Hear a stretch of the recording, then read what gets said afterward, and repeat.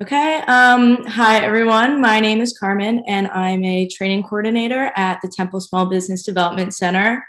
Um, the Temple SBDC helps small businesses start and grow. We provide free one on one counseling and a variety of low to no cost webinars. We are proud to be a part of the nationally accredited network of SBDCs with over a thousand centers across the United States. Welcome to the next session in our food business series. Um, a copy of today's PowerPoint and a link to the recording will be sent to all of the attendees. Um, all attendees have been muted, and we encourage you to post any questions in the chat or Q&A. Um, and now I will turn the floor over to George. Thank you, Carmen. Welcome everybody on this great night. The sun is shining outside of my uh, my window here. So um, as we always do, I actually took a quick look at some of the folks that that popped in and registered. Some names look familiar and a couple names don't. So if you could, let's practice working the chat now. At the bottom of your screen, there's a little chat icon. If you could let me know uh, which session, you know, first session, second session, so on and so forth. Just want to get a handle on uh, on how many folks are here for the first time, especially. All right, great. And Dastardi, welcome. Maria, welcome. Melinda, Dawn, wow, good. Kim, I saw your name. Welcome back. Shannon, thank you for coming all the time. Adam, some some some newbies and some regulars. Great, great. Okay, so um, for those of you folks that are on for the first time, we're going to spend about an hour and a half tonight talking about a lot of different things, primarily cost of sales, pricing, and profit. Uh, but I do have a couple of slides up front that I go through that I always go through for all the webinars. So um, let me just kick it off for those of you here for the first time. So this is the remaining schedule that we have. Uh, tonight we're talking about cost of goods, pricing, and then next week, great session. My partner Mark Plamondon and Jeff Marshall will be on talking about brand identity, packaging, and advertising. So for those of you that are either developing a product, maybe you have product product developed, you're thinking about what to call it, color combinations, all that good stuff. That's a great session for you to come to. Two weeks from tonight, we have marketing, communications, social media, and influencers. It's another great session. So what we found is um, most of the, you know, most of the folks are obviously using social media to kind of get the word out. And you'll see why a lot of people are using social media. So that's a great session if you want to do that. I'll be back in a couple weeks with Mark. We'll talk about consumer and trade promotion. So uh, there are two components when you want to sell your product at retail. One is talking directly to the consumer, and the other is talking directly to the retailer. So for those of you that are thinking about selling a product or service through another party, that'll be a great session for you. Or if you're thinking about selling direct to consumer, that's a great session as well. And then for those of you that are either you know developing a product or various stages of developing a product or thinking about a new product or a new edition, we come back on September 1st and talk about new product development. I don't have it on here, but on Saturday, September 11th, we have our boot camp. That's an awesome session. It's all day. Uh, in the morning, we kind of spend a good amount of time kind of going over all the sessions that you see on the screen. Then we also do some separate breakout rooms. So for those of you that are, are interested in pitching your idea in the afternoon, you come back and actually present your idea to myself, Mark, and a couple of our friends who are in the food business as well. So it's kind of like Shark Tank without the financials, I guess is a good way to put it.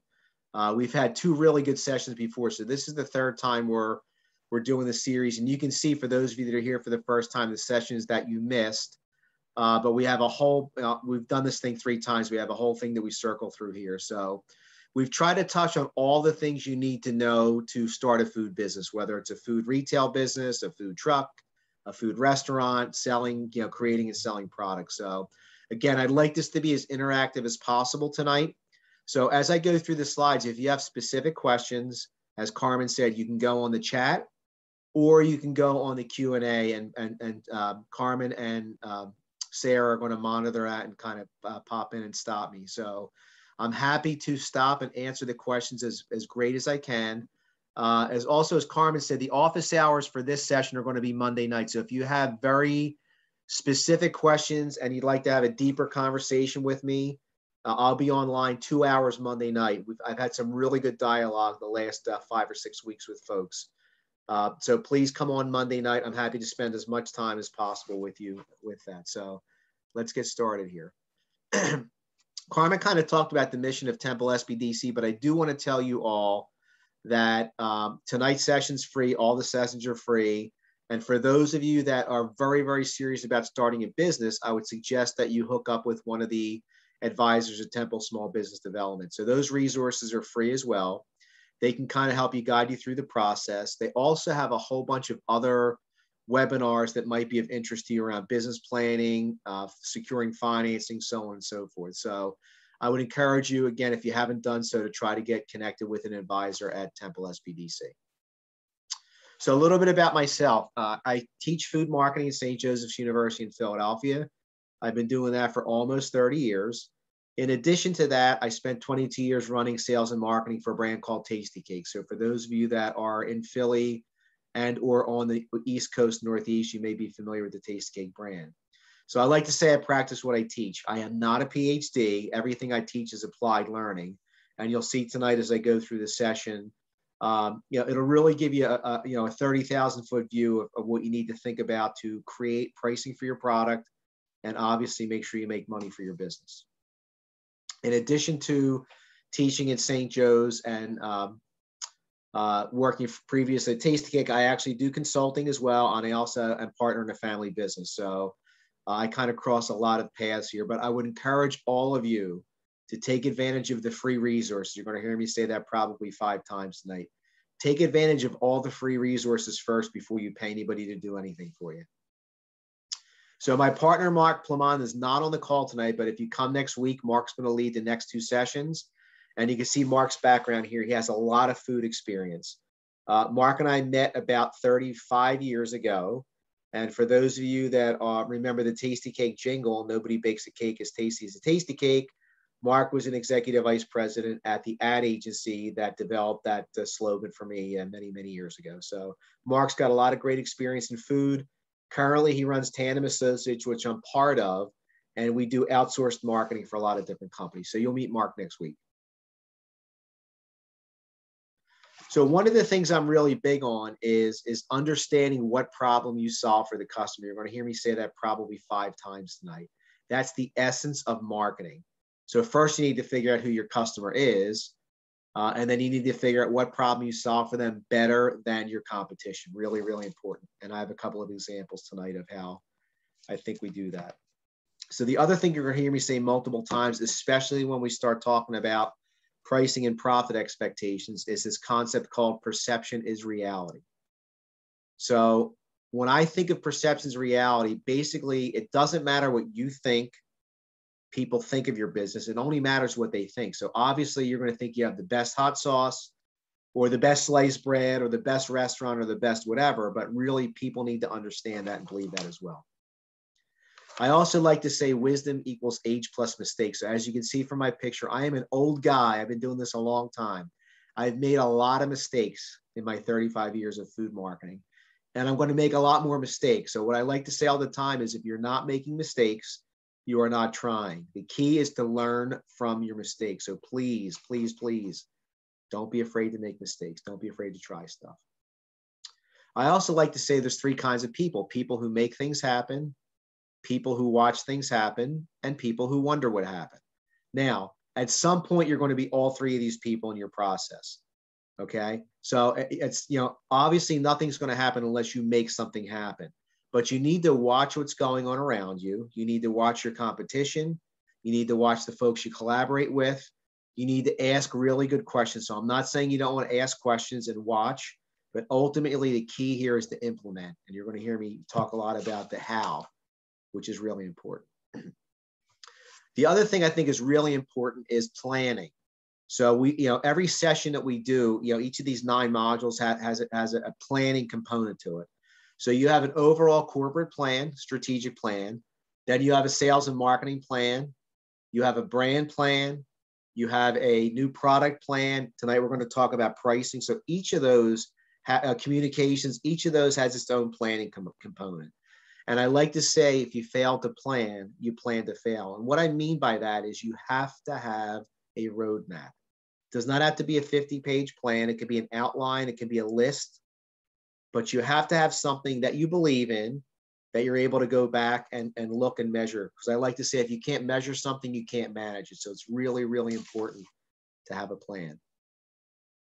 And I also said the three questions. So I do like to ask questions. So what? Why? And how?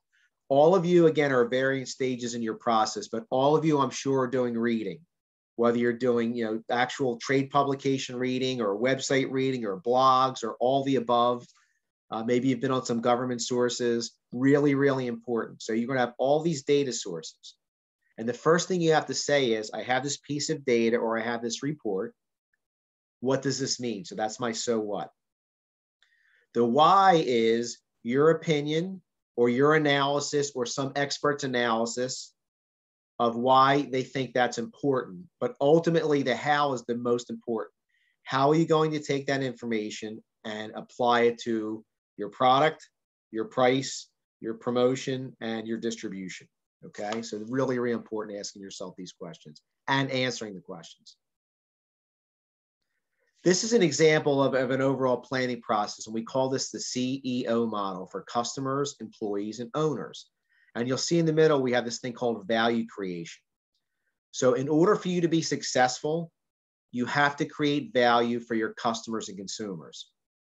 And that value is typically what we call perceived value. So that's why I come back and say perception is reality. You know, again, you'll see when I give you a couple of examples of how we do this, how this works. And then outside, we have the community, and outside the community, we have society. So a big part of everything that you're doing involves multiple stakeholders. And you'll see here on the right, we start with a mission and vision. Then we do an external analysis. I'll give you a really quick uh, overview of that. You have to have objectives that are quantifiable. We'll talk about that and why that's important. And then you implement your strategy. You measure your success or failure, and then you adapt and go back all over again.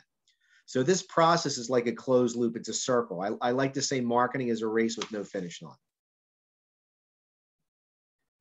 This is an example of everything we do when we teach marketing in the classroom. This is really the only textbooky kind of slide that I have because I think it does a really good job of explaining everything we do in food marketing. So at the top, you have the five C's customers, company, competitors, collaborators, context. And we'll talk a lot about that. The way we create value first is understanding how to group people. We call that segmentation. Then we figure out which people are the most important people in that group. That's called target market. And then finally, once we pick the people that we want to go after, that positioning is what we want them to think and feel when they see our brand, hear our name, see our social media, maybe uh, try our products, see our stuff on the shelf, all that good stuff. From that, this is where we get to the how. And this, if you're for those of you that are familiar with marketing, we call it the four P's of marketing: product, price, promotion, and place.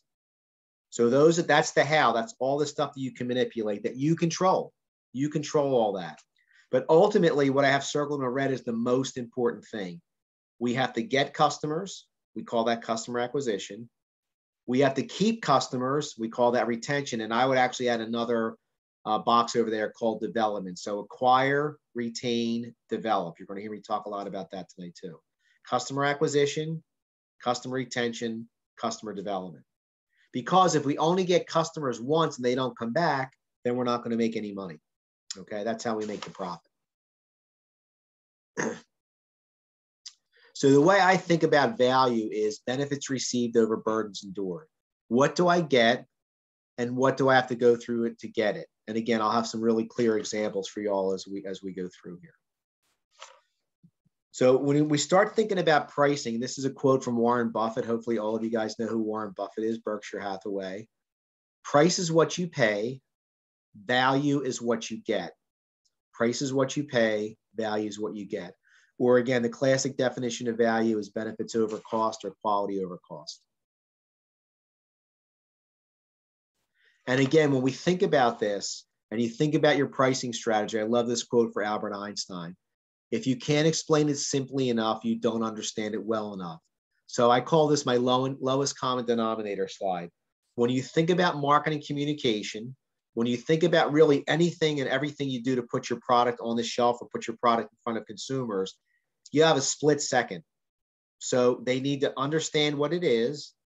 They need to understand, you know, what problem it solves for them, and then they're going to make a decision whether they're going to buy this or not.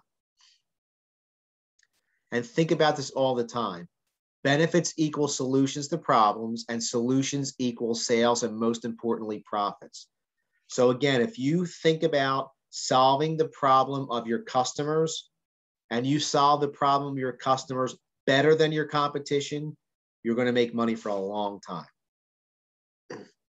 I call this my money slide, probably the most important slide in any presentation I do, which is why I call it the money slide. These are the four questions you have to answer who you are, what you do, how you're different, and why you're better. So if you think about this, all of you have a story. All of you are entrepreneurs. Nobody can be you. So the who you are and what you do are definitely going to be unique to you. How you're different is regardless of whether you're selling to a trade customer like a food retailer or you're selling direct to consumer, that customer and consumer is going to have some reference point when they see your product and they're going to compare you to something. So just because you're different does not make you better. They have to view you as being better. So that's the most important thing. And that's why I put what problems you solve for the customer and consumer. So for those of you that are thinking about developing and selling a product to a retailer, you have to solve the retailer's problem. And the way you solve the retailer's problem is by solving their customer's problem. So when you go make your sales presentation to Wegmans or Wawa or Whole Foods or Walmart or whoever, you have to go in and say, here's who I am, here's my product, here's me, here's my story, here's what we do, here's how it's different than the other folks that you, you know may be comparing us to. But most importantly here's why we're better.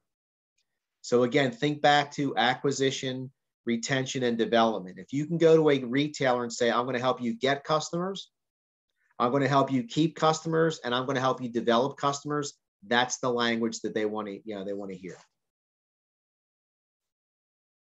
so one of the things we talk about when we talk about pricing is this concept called economic value proposition so it's easier for me to show this grid to you and explain how we do this. This, this is the essence of pricing strategy. So there's two lines here, right? We have less say more, less say more.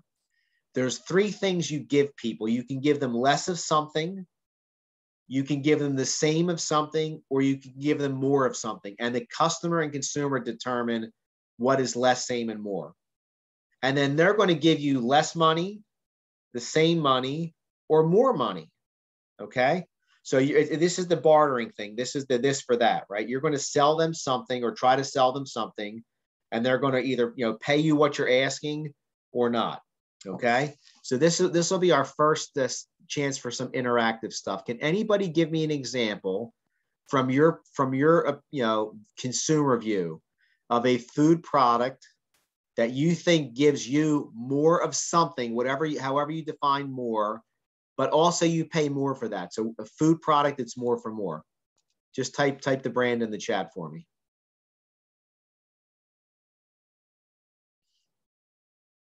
Philly cream cheese, uh, Pedro seafood. So yeah, we'd have to know what kind of seafood, but seafood definitely costs more than other protein choices for sure. Great choice there. How about some other folks? Coffee. Anybody drink coffee? Alcohol for sure to start a yes. Uh, Starbucks, Kim, thank you. People that are on pescatarian lifestyle, Dawn, great, thank you. Alcohol, so wine's an interesting one because you can go to Trader Joe's and get uh, Charles Taylor wine, two buck chuck for $2.99 for a bottle of wine. Or you can go to a wine store and spend a $100 for a bottle of wine. So wine's a great one. Great one. Okay. So some good examples here. So when, when I think of more for more, Starbucks is a great example. Um, think of for those of you that like to go out to a really nice restaurant, however you define a really nice restaurant. So for me, uh, it's a nice steakhouse.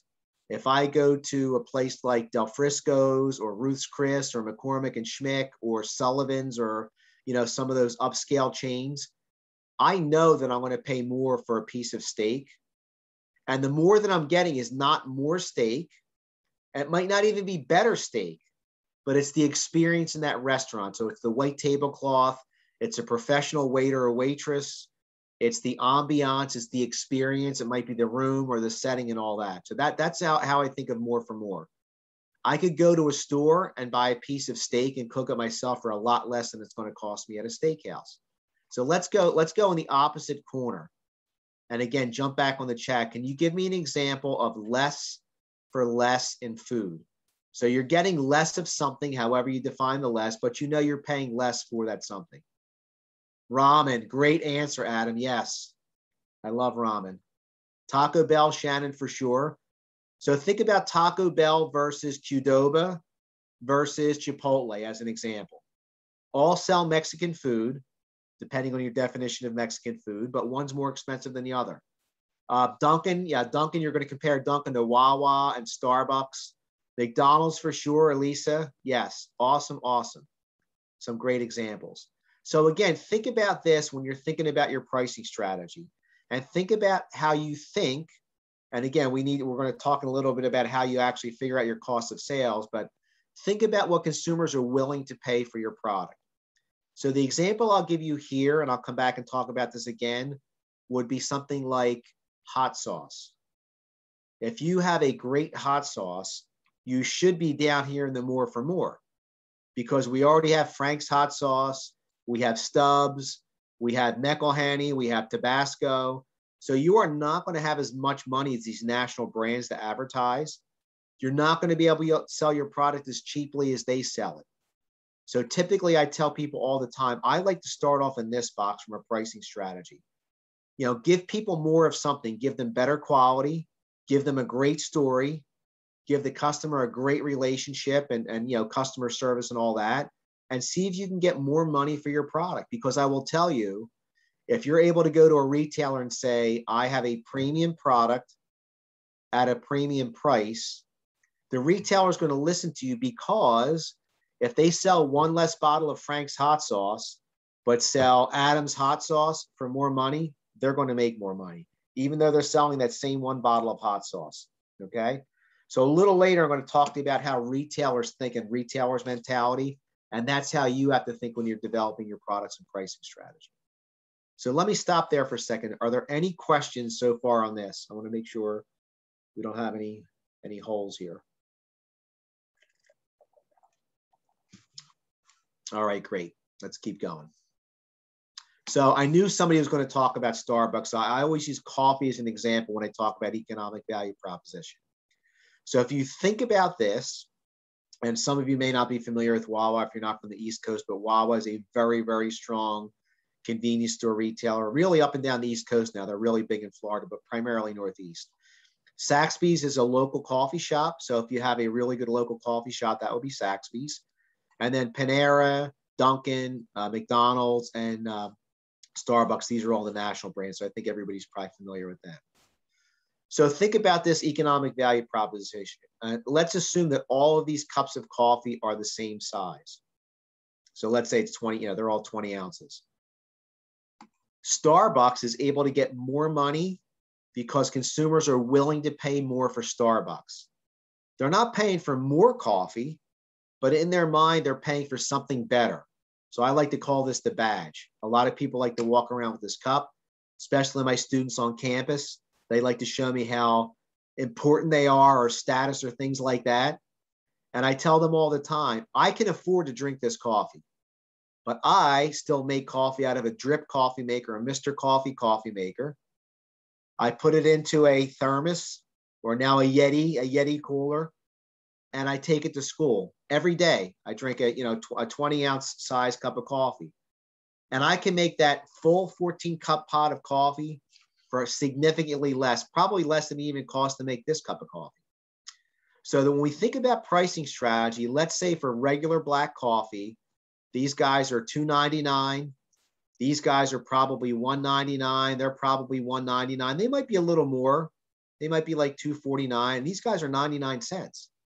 So again, when, when you think about cost of sales and you think about how to price your product, what's actually inside the cup probably cost about the same amount of money for all these all these brands. What's different is again how they package it. That's the product. How they brand it. How they communicate. Where they sell it and how they price it. So one of the things we're talking, want to talk a little bit about pricing is some people think that things that are more expensive are better. It's just perceived value. Just like these guys have a great cup of coffee. For those of you that like coffee, try this coffee. It's really, really good. The problem is they sell it for 99 cents. And the perception of a lot of people is, well, if it's 99 cents, it can't be as good as this. Because this is 2.99, this is 99 cents. And for those of you that are from Philadelphia, the story I tell all the time is uh, McDonald's tested McCafe coffee in Philadelphia about 15 years ago. So probably about 2005. And they tested against these brands. And the problem that I, I saw at the time and I still see now is when they were launching this product, they were charging 69 cents for any size cup of coffee. And when I went into class, I'm like, okay, if it's 69 cents for 20 ounces, it can't be that good, can it? Because these guys are charging 2.99 for that. They did a blind taste test. So they, they actually did a taste test against all these brands with consumers like you. And they, they came out the number one brand from a taste standpoint. The problem, however, I say from a marketing standpoint is perception's reality. People don't buy blind, they buy brands. They're not buying blindfolded, so they have a perception of this brand, a perception of this, a perception of this, and that's what shapes their buying behavior. Same thing with pizza. Same thing with pizza.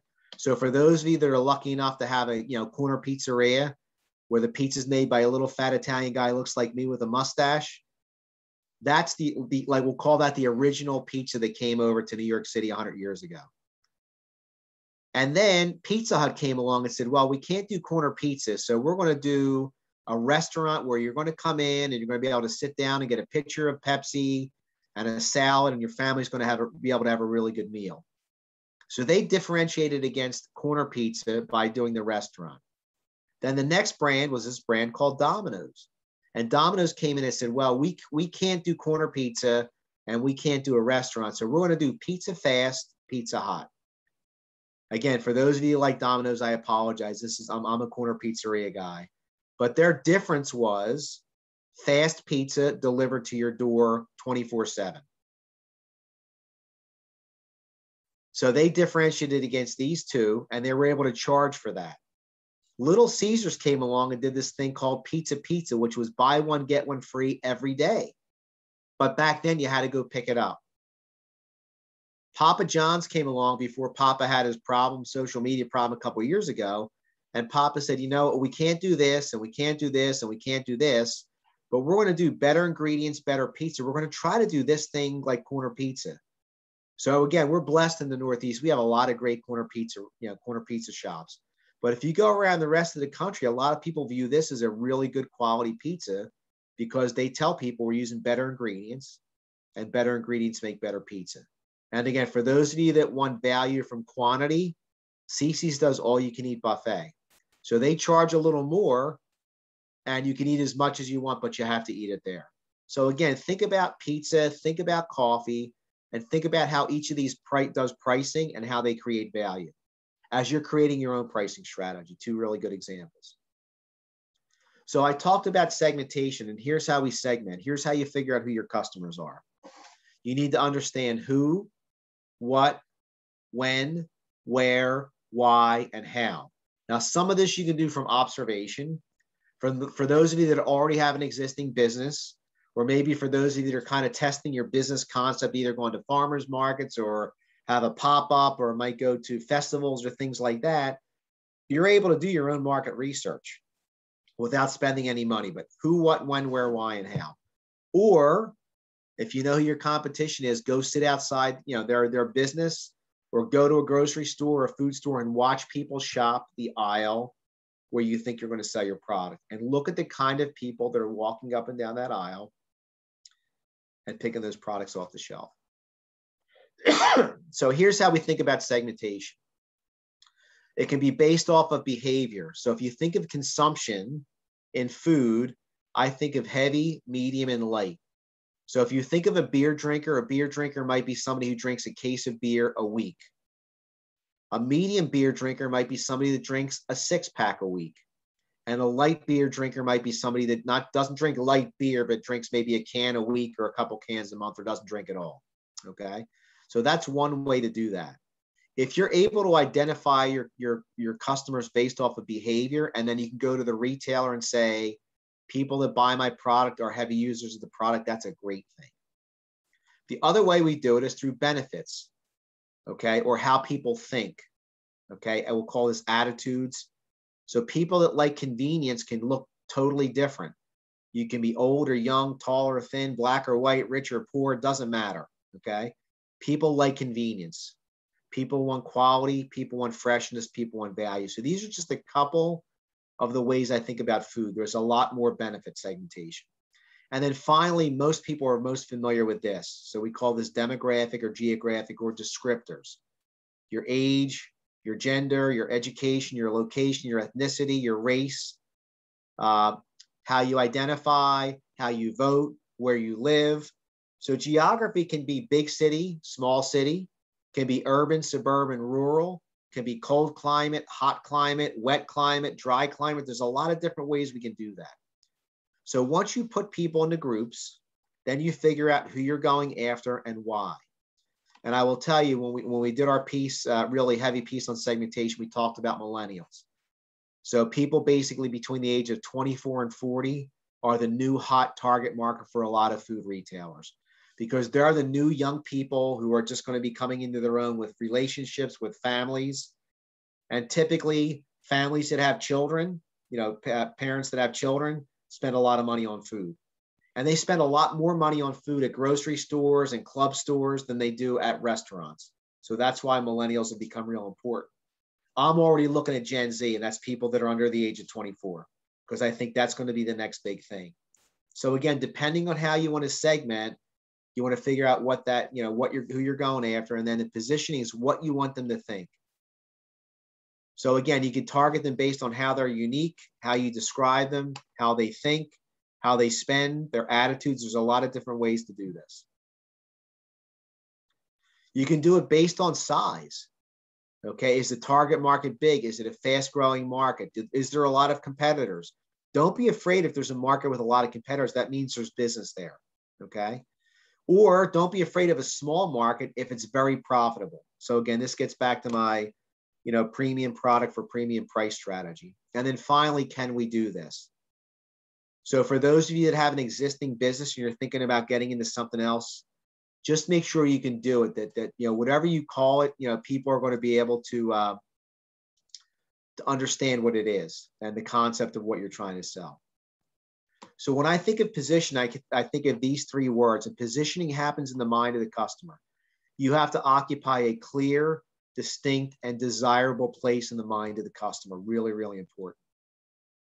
When I think about positioning, we write something called a positioning statement. To the target market, brand X is the frame of reference, that's the point of difference. Or the example I use all the time is to the person cleaning up the spill, Bounty is the paper towel that is most absorbent. And for those of you that remember Bounty's advertising, Bounty's the quicker, picker, upper. That's been around for 50 years. 50 years that that that those lines have been around. So to the person cleaning up the spill, Bounty's the paper towel that's most absorbent. For those of you that have seen a Bounty commercial recently, whether it's on TV or social media, they still show somebody spilling something. They still show somebody picking up that spill.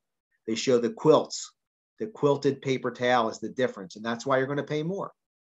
If you change this to to the starving college student, you know, dollar store brand is the paper towel that is blank, it would be cheapest. So people that don't value absorbency are going to spend less money on a paper towel. Just like Scott paper towels are cheaper, Viva paper towels are cheaper, Sparkle paper towels are cheaper. They're all brands, but they're cheaper than Bounty.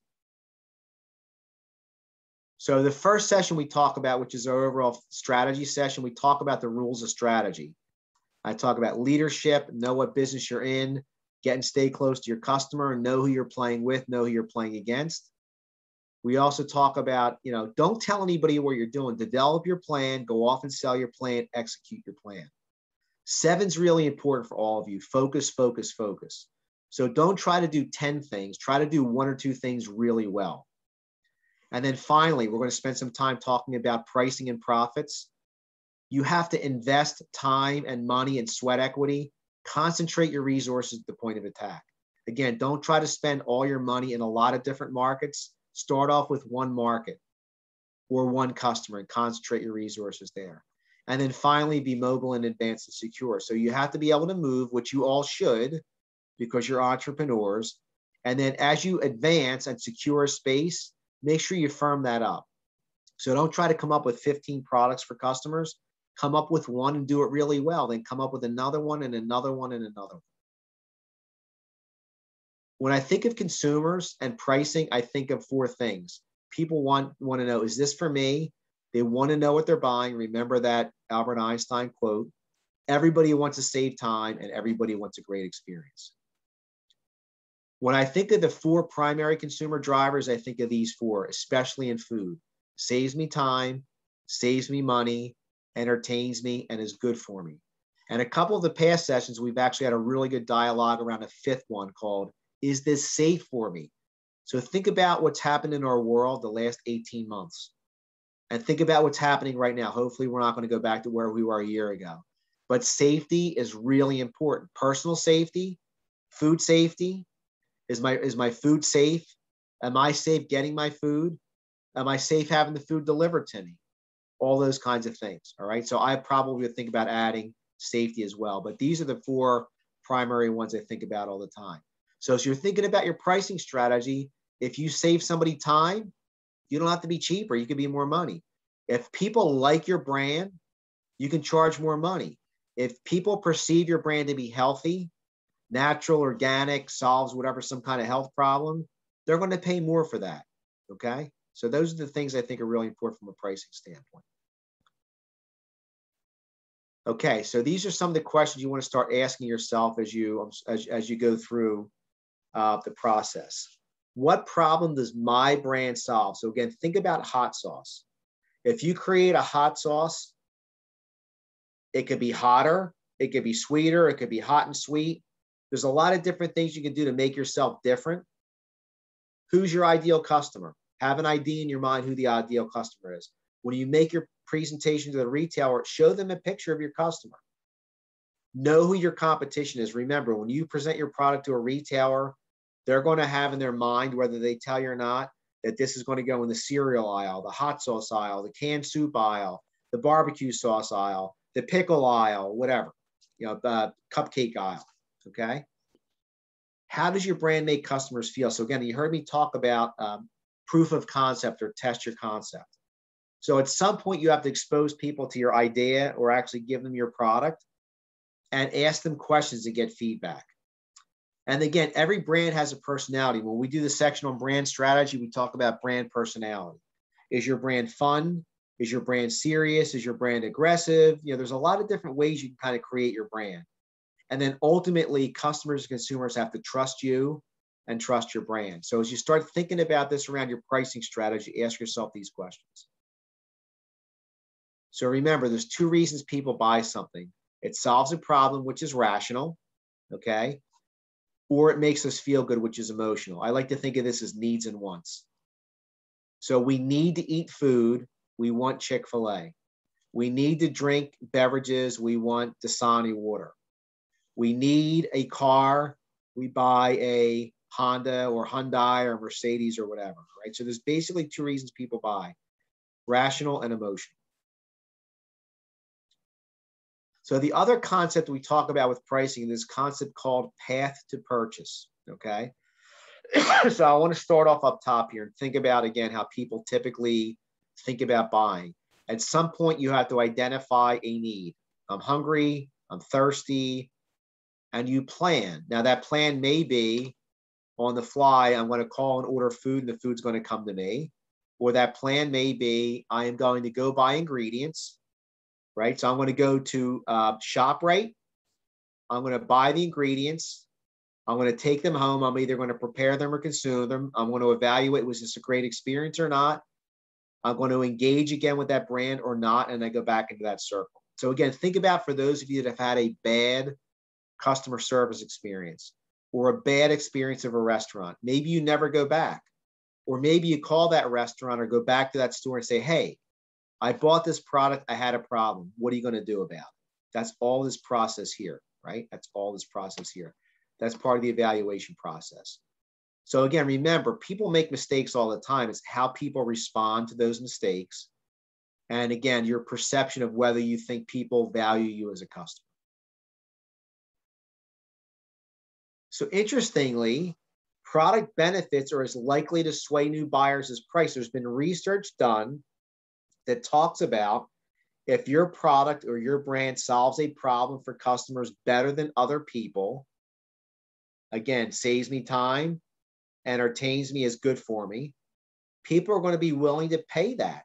Or people may switch from brand X to brand Y because they think you solved the problem better than somebody else. Okay, so think about that. I forgot to mention, I did see, see a, a note in the chat. Um, all of you that are registered tonight, um, Carmen and Sarah will actually give you a link or they'll, they'll actually post this presentation on the uh, SBDC website so you can go back and review this as well. Forgot to mention that earlier. So let's talk a little bit about consumer behavior, how and why consumers buy. Well, again, there's a lot of different marketing stimuli that people look at. We haven't talked about this external analysis, which I'm going to talk about in a little bit, but there's things like the economy that affect people, technology, political culture, your cultural background, all those things go in. Okay.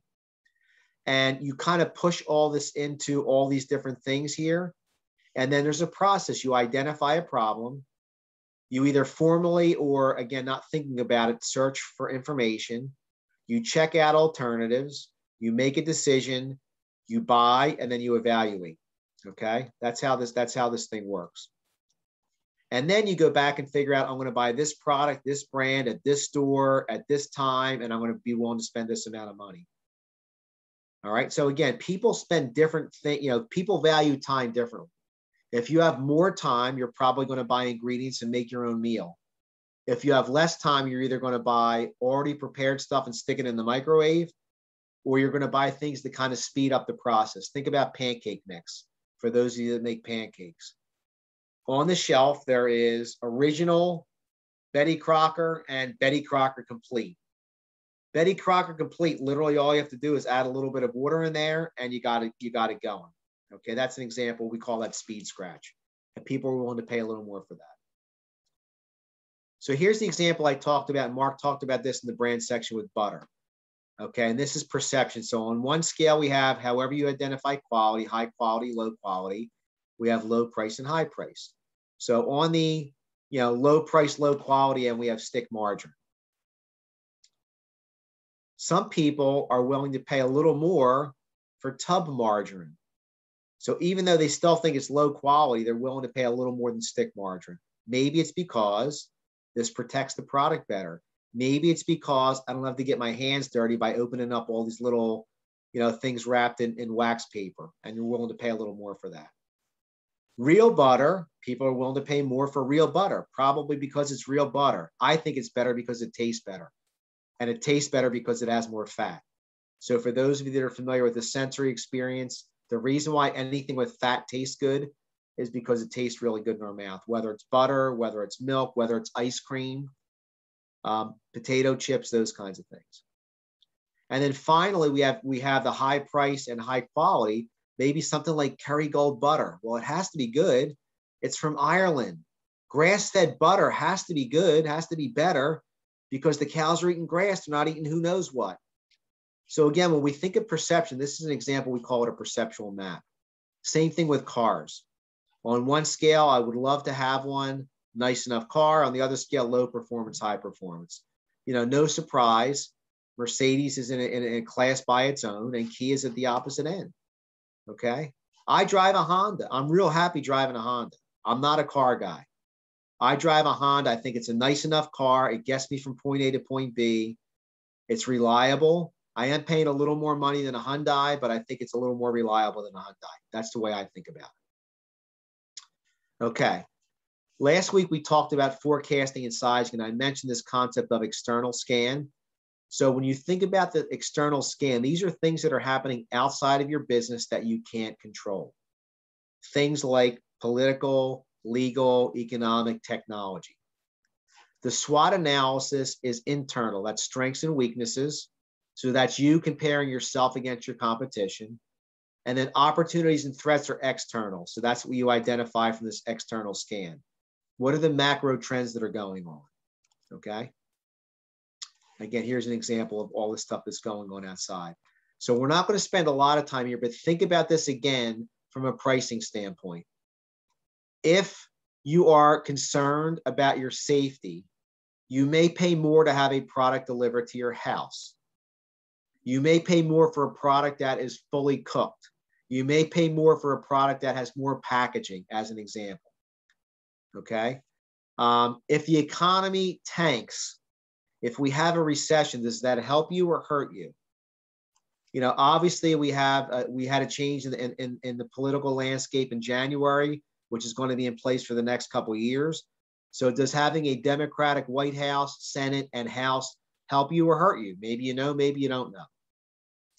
Uh, are you able to leverage technology? So even people that don't have a lot of money have a lot of technology. Not everybody, not everybody, but a lot of people have technology. So how are you going to use technology to your advantage? What's going on in the environment? So one of the trends that we've seen for a long time is this concept around sustainability or consumers wanting to know where their product came from.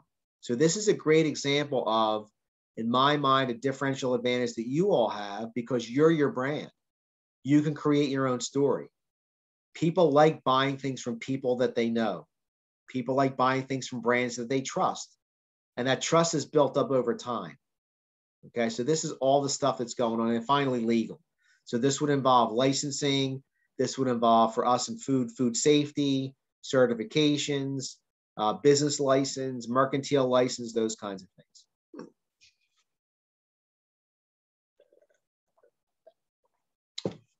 So again, remember, people are motivated by needs and wants. There's things that go on outside and there's things that go on inside and, and everything. Obviously, people are crunching a lot of different, different things inside here to do that. So when we think about this, for those of you that are familiar with Maslow's hierarchy of needs, at the bottom, it doesn't matter who you are. Everybody has physical, physiological needs. We need food, we need water, we need sustenance to live. We need safety you know, for us in America, you know, typically safety is I have a house, I have an apartment. I feel safe in my house or apartment or my car. then we have social needs. So again, think about how your world changed a year and a half ago. Think about how your world changed a couple of months ago. We were all happy to take the masks off, all happy to get back and kind of hang out with friends and family. So there's a lot of different ways we play here in food, a lot of different things in, in this process that motivate people to buy different kinds of things. And again, this is part of our pricing strategy too. People are willing to pay more for things that they value. So I like to say we're not in the food business serving people, but we are in the people business serving food. So again, you have your brand, you have your story, nobody can copy that. Nobody can copy that. And I always think, even though we're becoming a much more technologically based society, I always think there's going to be room for great relationships. And there's definitely going to be room for experience. However, customers define experience, always going to be room for that. so when you think about retail, if you're thinking about opening your own store or if you're thinking about selling your store to a retailer, here's how retailers think people go to the store, let's call that traffic, and they buy something. Okay. They pay something for that box or bag or package, and they make a certain number of trips. Okay. So we call every time you go to the store, that's called a trip. Every time you buy something, that's called a, you know, that's traffic and transaction. So when you multiply dollars per unit times units per trip, that gives you dollars per trip. You multiply dollars per trip times trips per household. So one of the measures we look at in the United States are households. Households can be 16 people, households can be one person. A household is a household, could be an apartment, could be a home. That gives us the buying rate. We multiply the buying rate times the number of households, and that's how we create dollars. So this is the lingo that, again, retailers think about. Retailers also think about these three concepts called basket size, loyalty, and frequency. I'll start with frequency. If you can explain to the retailer that having your product on the shelf will get people to come back more often, that's a great thing. They like that. If you can explain to retailers that they will be loyal to that store because your product is in that store, maybe your product's not sold in a lot of other stores yet, they like that. And then finally, if you can go to the retailer and say, when my product is in the shopping cart, people also buy X, Y, and Z. That's called basket size. So one of the measures that retailers look at is average basket size. How much is in that shopping cart every time somebody comes to the store? So again, this is the lingo that you want to think about the way retailers think is basket size, loyalty, frequency. If you're thinking about creating your own company or your own retail brand, you have to think the same way. Can I get people to come back often? Can I get people to come just to me or come to me more frequently? And what can I sell? How can I merchandise? How can I price my product so that more things go in the shopping cart? And again, remember back to my acquire, retain, and develop. So as you start thinking about sales channels, there's basically you know a couple different ways you can do it. You can do it yourself by either creating opening your own bricks and mortar store maybe a pop-up maybe a farmer's market or something like that. You can certainly sell direct to consumer online. You don't even need to have a storefront. But you can also sell to specialty stores which many of you probably the, a lot of the products I, i've heard over the last couple of weeks might be specialty products. Or again many of you are obviously most comfortable or most familiar with the large chains so there's a lot of different ways you can sell your product. And by the way, within each of these different channels, there's a lot of different ways you can price your product as well. So let me give you an example of how retailers create value through their pricing strategies. This is how the retailer thinks. So for those of you that are looking at this picture, just go on the chat and tell me which one you would buy. You don't have to tell me why. Just put left or right in the chat. Chicken on the left, chicken on the right.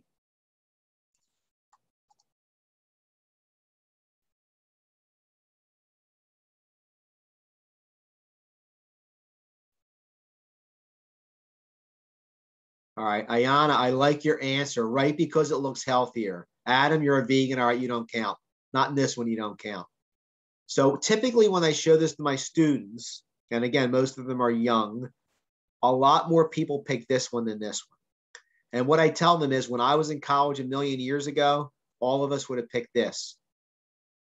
So the reason all of us would have picked this 35 years ago is this is a Perdue chicken. And 35 years ago, Perdue told us that this was a healthy chicken and this was a tired chicken. And the way Perdue got the chicken to look yellow 35 years ago was they fed them marigold flowers. So the feed that the chicken ate was basically yellow flowers, and that kind of gave it the yellow skin. And Frank Perdue was able to take chicken from a commodity and charge more for this because it was yellow. Today, this looks like a healthier chicken because it doesn't look yellow. It's not as big, probably doesn't have steroids, probably doesn't have antibiotics. So back on the perception, perception 1980 would be here. Perception 2021 is here. All right, so let's go to this next picture. Let's assume that you are buying a fresh chicken that looks like this. And I'm not going to tell you whether it's natural or organic. Uh, tell me what you would be willing to pay per pound. So typically when we buy commodities in a grocery store, buy protein in a grocery store, we pay a price per pound. So what do you think most people pay per pound for a whole raw chicken. Just type it in the chat.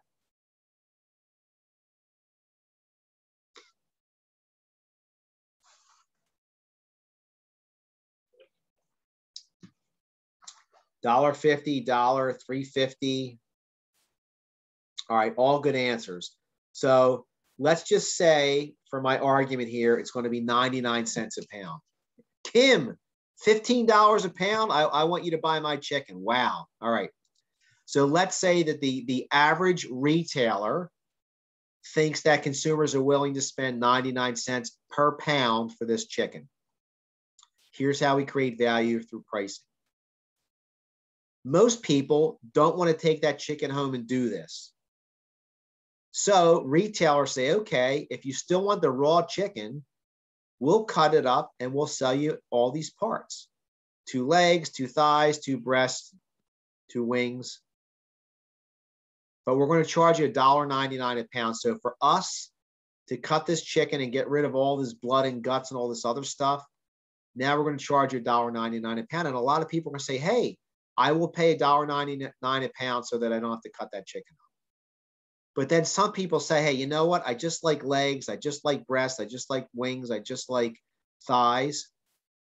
For me, I still can't figure out why chicken wings are the most expensive price per pound because there's not a lot of meat on there. I don't know what it is. Obviously, they taste really good. I get that.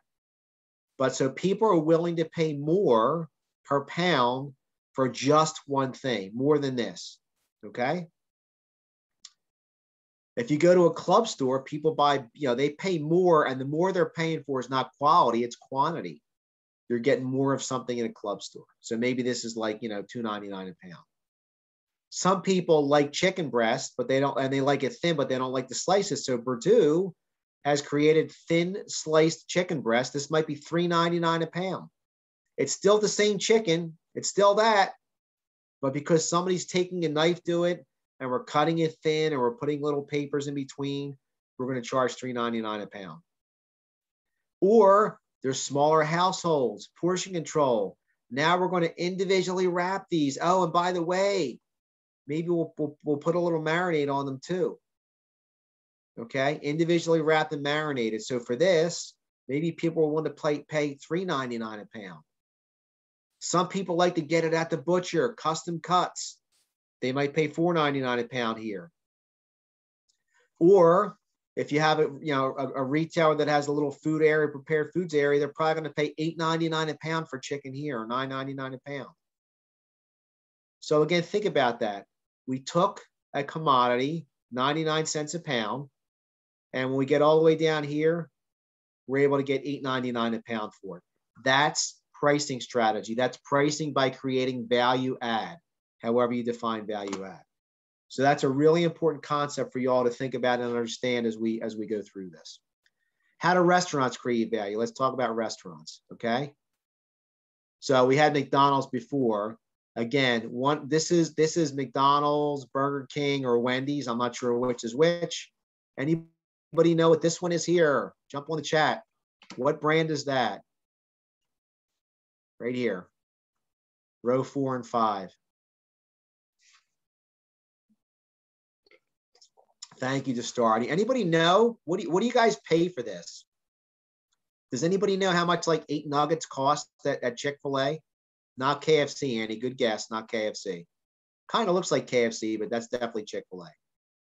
So no, nobody knows how much Chick Fil A costs. They just like it, and they're willing to pay a lot more for this than they are for this, this, or this. It's made with chicken. It's chunked chicken.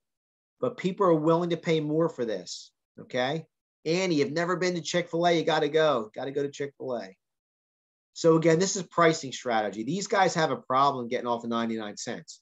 They've conditioned consumers to pay 99 cents for chicken nuggets. That's their value. They create their value off of price.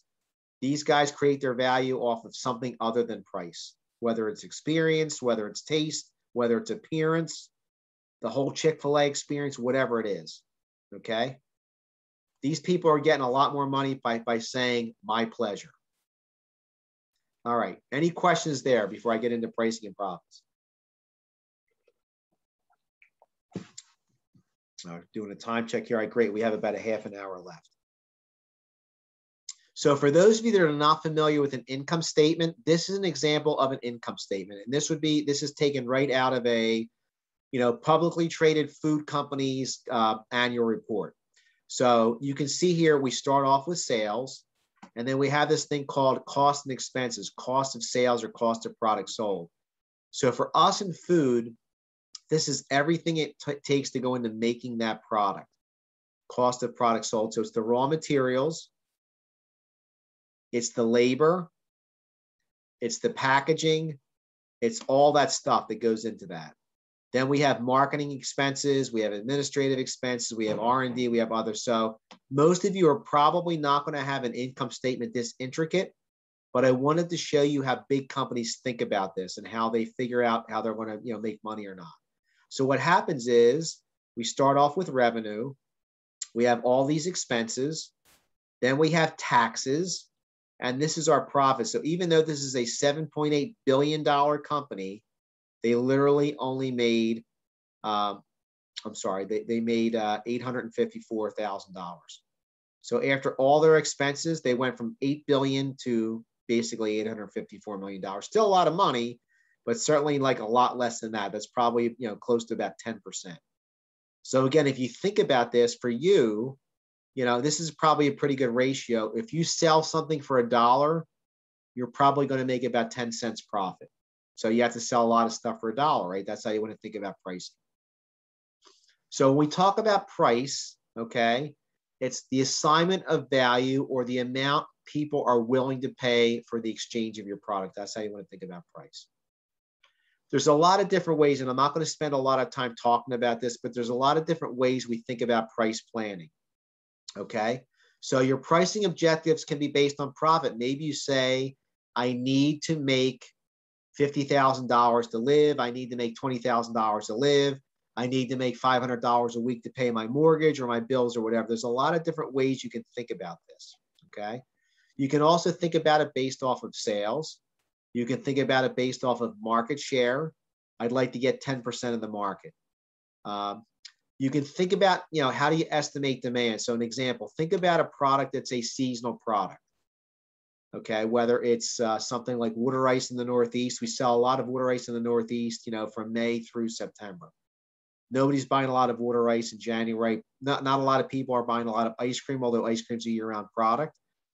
You know i think people drink uh, more beer in the summer than the winter except for super bowl except for you know new year's eve those kinds of things. So we have to figure out how we're going to estimate demand then we have to figure out our costs. And I'm going to take you through a little bit of how we want to think about the cost. So we have something called variable cost. And a variable cost is something that changes with each package or unit. Fixed costs don't change. So when you think of fixed cost, think of rent, think of utilities, think of taxes, think of manager's salary.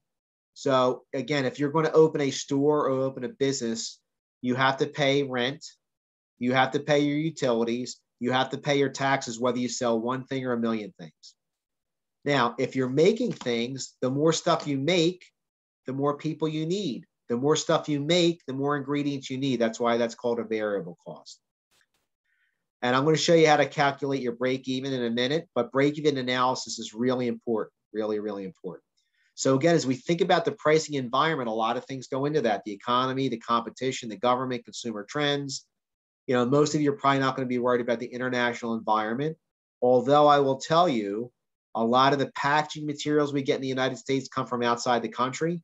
So packaging is an issue right now.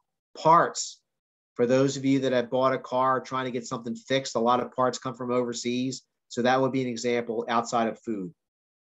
Okay. When you think about your pricing strategy, there's a couple ways we can do it. You can do it based on cost. You can do it based on demand. You can do it based on the competition, the customers. There's a lot of different ways we can do that. I'll give you a couple of examples from that as well. Okay. And then the tactics. So the strategy is kind of like the roadmap. The tactics are things you can do specific to products for multiple products, maybe based on different uh, retailers or different channels of distribution, and maybe give different people different discounts. That would be an example of tactics. So again, we talk about objectives based on cost, demand, the environment, or revenue. So here's an example. This has nothing to do with food, but variable cost at different levels.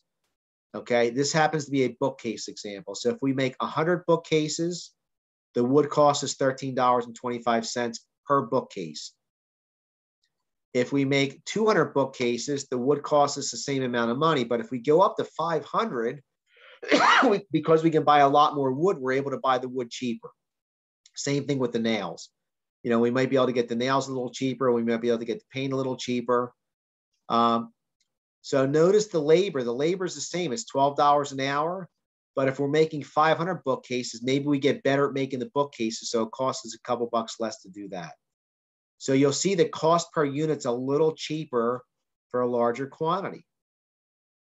And then here's an example of how, how you might be able to compare costs. So these are variable costs. All these things change with the level of products that you make. So break even is when you're able to identify how much you make and how much you sell. And that's where, so that's where profits and revenue equal. That's called the break even. I'll be able to explain that a little easier in a minute here. You take your total fixed cost and then your contribution per unit. So this would be, we call this the gross profit margin. So think of a lemonade stand and you're going to set up and sell lemonade outside your house. So it costs you uh, a dollar, right? You're going. To, I'm sorry. You're going to charge a dollar for the lemonade, and all of your costs for the cup, for the lemonade, for the labor, for whatever are let's say 50 cents. So your contribution per unit is 50 cents or 50 percent. So that means that if your fixed cost, so you had to buy a table, you had to buy a sign, you had to buy a couple of other things that you, you know you, needed to set up. Let's say your fixed costs are five dollars, and you make fifty cents on every glass of lemonade you sell. So you divide five by fifty, and you come up with ten. So you have to sell ten dollars of lemonade to break even. That's how you have to think about it. Okay. So that's again really important concept for you to understand. So that's why you need to understand what it costs you to make a product and then you also also have to figure out what it costs you to get that product from where you make it to where you're going to sell it. And I'll give you an example on that in a minute. So we have this concept called markup. Okay. This is the amount added to the cost at each channel member's piece. And it'll be easier for me to explain it to you this way. Okay. Actually, let me let me go through this quickly because this is really this is really important setup here. psychological issues in pricing. So people have expectations of what they're going to pay for something. People have reference points. And then people also make price quality inferences. So again, think about this. You're not going to expect to pay a lot of money for a chicken nugget at McDonald's. You're probably going to expect to pay a little more for that chicken nugget at KFC. You're going to spend a little more for that chicken nugget at Chick fil A you're going to spend a little more for that chicken nugget at Applebee's or some sit down restaurant, right? So people have different expectations, reference points, and again, price quality inferences. So let me take you through an example of, of a company that I did some work for a few years ago. It's called Elizabeth Lane. And they are a company that does simmer sauce. So they were creating simmer sauce. And this is basically a 16 ounce jar of sauce that you would mix with a pound of protein, whether it's chicken, fish, pork, beef, turkey.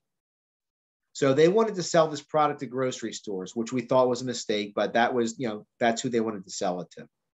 So if you think of something like simmer sauce and who might use something that they're going to actually mix with a pound of protein and cook for half an hour, you have an image in your mind of who that customer might be. Who are the competitors? Well, maybe the competitors are barbecue sauce, marinades, salad dressings, pasta sauce. The other thing we had to talk to them about was is this shelf stable or perishable? Because that's going to go in two different areas of the store. They were currently making it in their, you know, in their backyard, but they had to go to a commercial kitchen. And then they ultimately went to a co-packer. And that's somebody who is a larger scale producer who can make a lot of something. And the reason why you would go from a commercial, you know, go from your own kitchen to a commercial kitchen to a co-packer is scale. So co-packers can make a lot of stuff a lot cheaper than you can in your house or commercial kitchen. Where are you selling it? Local or national? How are you selling it? Are you going to sell it directly to the store? Probably not. Are you going to use a wholesaler? Maybe. Are you going to sell it in retail? Maybe. Where is it going to go in the store? How are you going to get it to the store? So these are all things you need to think about. So this is how grocery stores think. I'm not going to spend a lot of time here, but this is literally a report that grocery stores look at every week. So grocery stores think in terms of departments. Grocery is basically everything in the center store. We have dairy, we have meat, we have produce, frozen deli. So I think all of you are familiar with this, those of you that have been in a grocery store. HABA health and beauty aids. So grocery stores know what this represents. So you can see grocery represents the biggest part of sales for a grocery store. On a percentage basis, it's 40%. The grocery stores also know how much it costs for all that stuff they sell. You know, this would be rice and cereal and uh, soup, uh, right, uh, beans, baby food, diapers, paper towels, all that stuff. So they know what it costs and they subtract what they collect, the sales minus what they pay, and that's called gross profit dollars. Okay, so 400 minus 303 equals $97,000. And then they divide this number, 97,000, divided by that, and that's how they figure out that their gross profit margin is 24%. So even though they are selling, collecting $400,000 from customers, they're actually only making $97,000 gross profit. But then they also have to worry about shrink, and that's that's stuff that's unaccounted for. They have to worry about payroll because they have to pay people in that department. So really, they're not making ninety-seven thousand dollars; they're making eighty-six thousand dollars. So now it goes from twenty-four percent to twenty-one percent. So again, if you think back to my break even, okay, they have to sell a lot to make 21%. And again, if you look at these different departments, let's take one that's really high profit produce. So they make 36.8% contribution, like net profit, off of produce, even though produce only represents $81,000 in sales. So produce is a lot smaller than the grocery department, but a lot more profitable than the grocery department. And if you think about some retailers and how they differentiate, retailers differentiate off of produce because that's something that people value and people are willing to pay more money for. So again, think about this. These are the departments that, that stores think about. And then within each of these departments, there's categories. So that's the mindset of the retailer. But this is basically how a retailer thinks about how they make money. Okay, and I'm going to skip this, but in the PowerPoint, I actually have it ranked off of it's all the same numbers. One's ranked by dollar sales, one's ranked by profit margin. Okay. One is ranked by profit dollars. So over here, right? And I like to say we don't take margins to the bank, we take dollars to the bank. All right. So dollars are really important. And then the others ranked on contribution margin.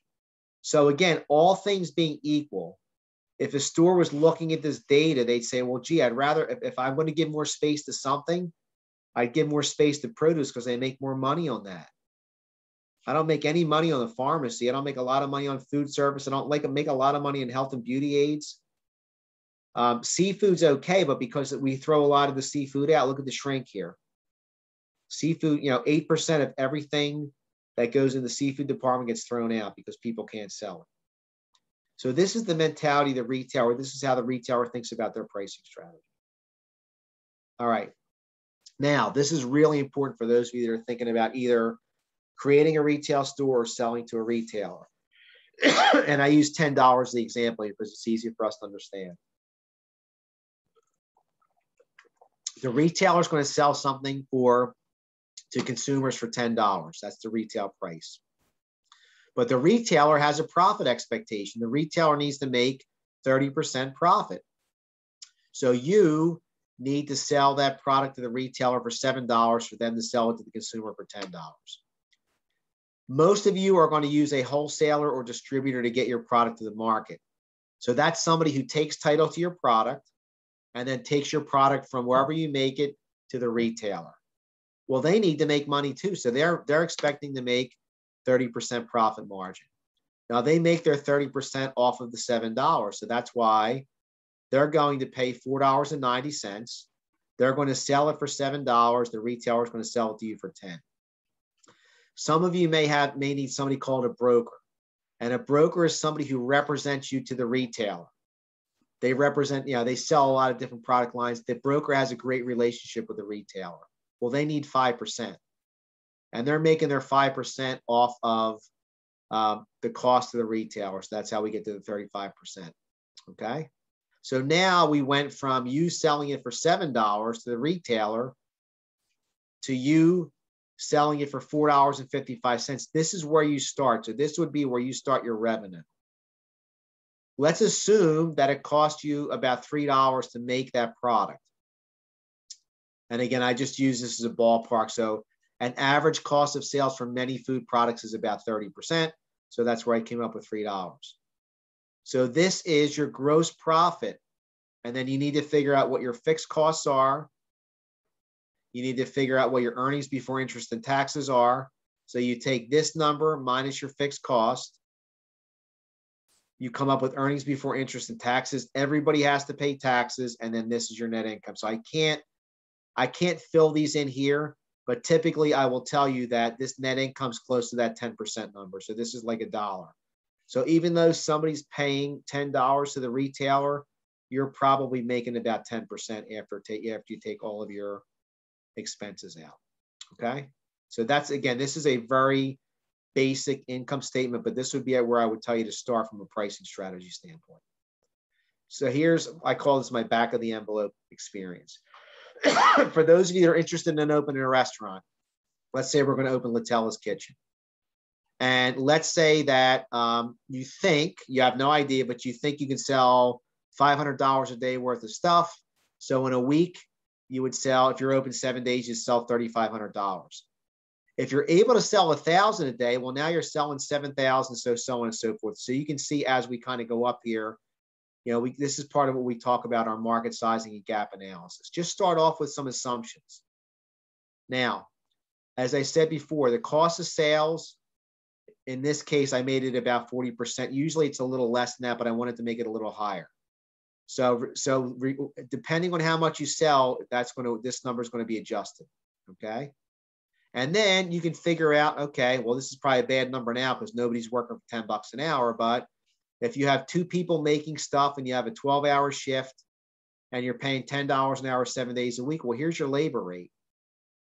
Okay. You're going to pay this if you're open 12 hours a day, seven days a week. You're going to pay this whether you sell anything or not.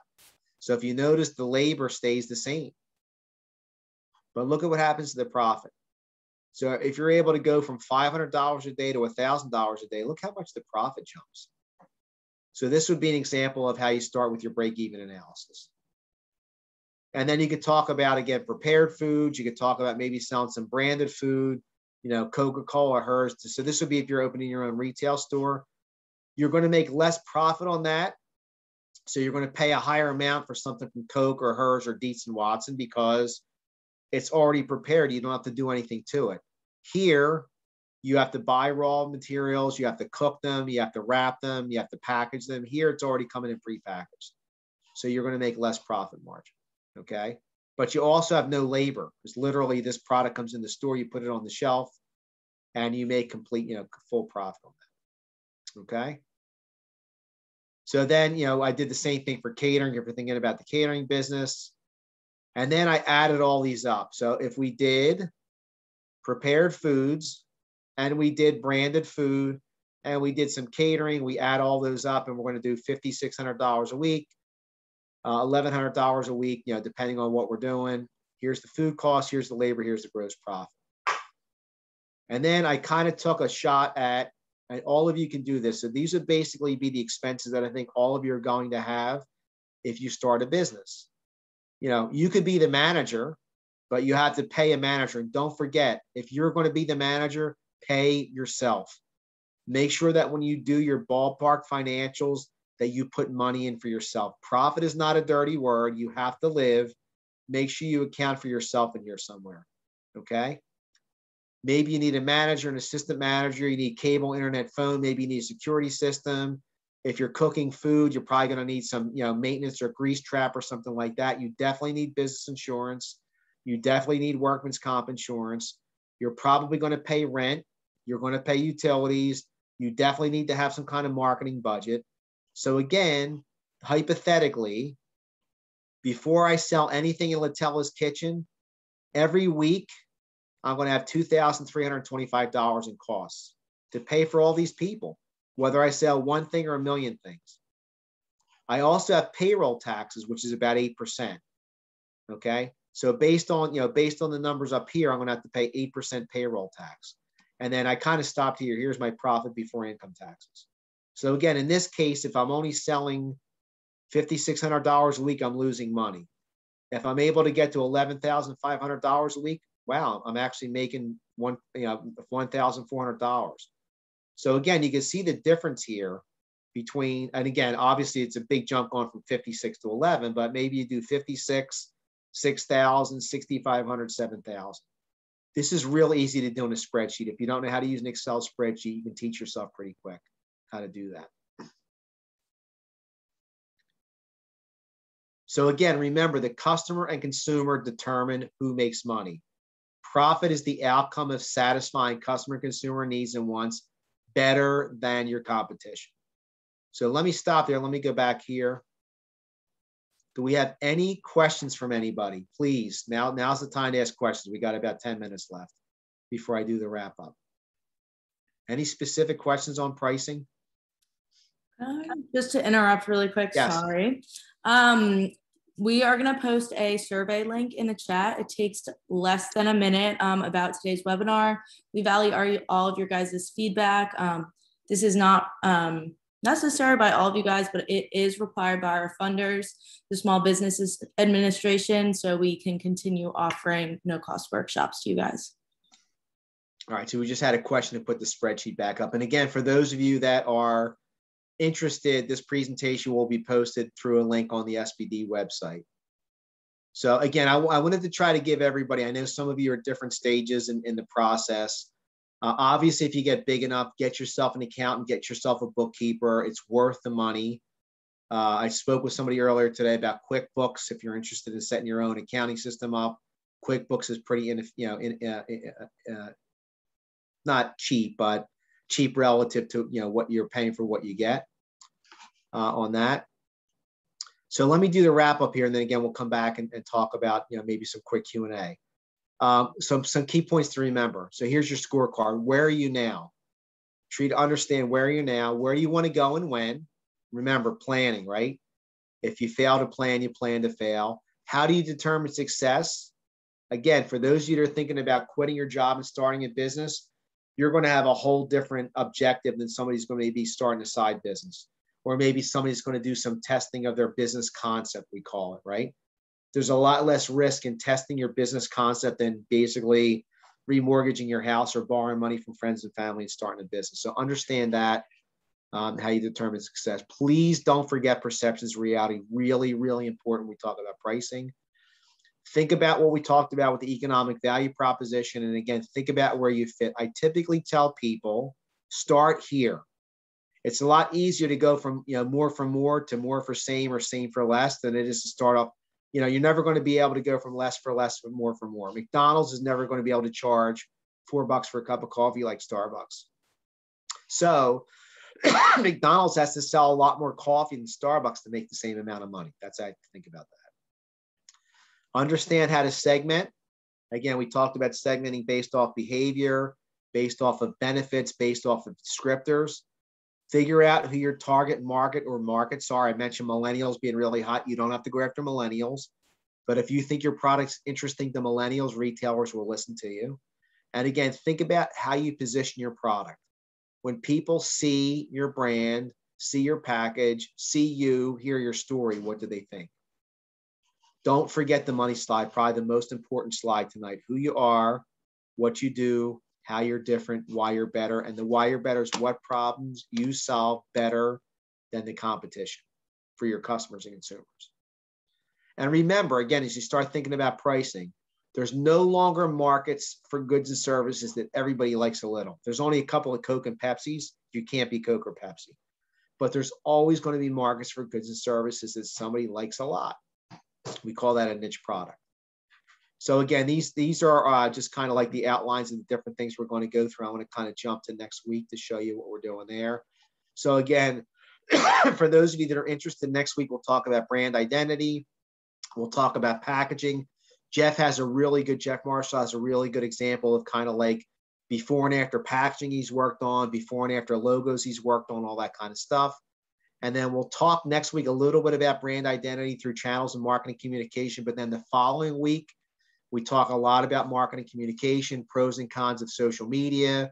And for those of you that aren't familiar with paid, owned, and earned media, you'll understand, you know, if you sit through this session, you'll understand why things happen on your social media feeds, why you're getting ads, why maybe your friends are getting different ads, all that good stuff. So the next couple weeks really center around brand and communication. In three weeks, I'll be back to talk about, again, create and retain customers through consumer promotion, trade promotion, and we'll talk a lot about these terms again acquisition, retention, development. And then in a month, we'll talk about new product development. So, how do you create new products, attributes, and benefits? We'll talk about packaging, we'll talk about recipes. We'll talk a little bit about food science. I am not a food scientist, but I, you know, I, I know enough to kind of talk about that. And then we'll kind of talk about how do you manage a new product, a new development process. And again, as I said, for those of you that are interested, on September 11th, we have our boot camp. So if you're thinking about pitching your concept or if you have a full blown presentation, you know, in the morning, we're going to spend time talking to you all about that. And in the afternoon, you're all welcome to sit in and watch everybody present their product. So again, I kind of mentioned before, this is like Shark Tank without the financials. Really, really good session. And this is a no risk session. So again, for those of you that have an idea, this is your chance to kind of share and get some feedback. Okay. So again, these are the dates that we have going on here. Uh, and I'm going to turn it back over to Carmen and Sarah to wrap us up. Okay. Thank you, George. Um, so just as a final reminder, our team is offering office hours to answer your individual questions. Um, this was originally tomorrow, but we switched it to Monday, August 9th from 6.30 to 8.30. Um, I'm posting a link in the chat so you can use this link at any time. You don't need to register. Um, and as a final note, we really value your feedback. Um, so if you have an extra moment, the link above the one I just posted is a quick survey, less than a minute. If you guys could fill it out, um, we really would appreciate it. Um, thanks everyone for coming. Have a great day. Have a great night, everybody. Hopefully we'll see you Monday night.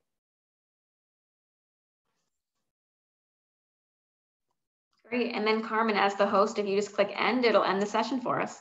Awesome. Thank you. Thank you. Have a good one, guys. Good night, Great everyone. job, Carmen. Thank you. See